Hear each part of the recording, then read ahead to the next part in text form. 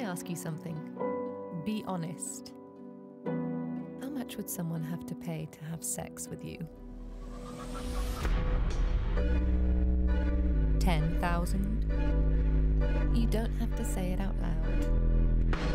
But be honest. What is your price?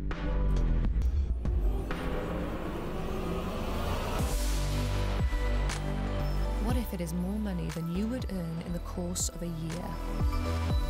Five years. What if it covered your tuition?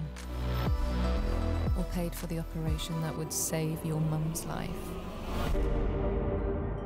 What if they are handsome? Incredibly handsome. What if he is the guy you would want anyway? What if you just love sex? And most importantly, what if nobody would know?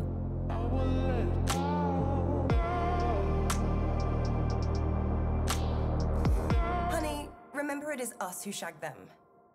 And it is never us who are shagged by them.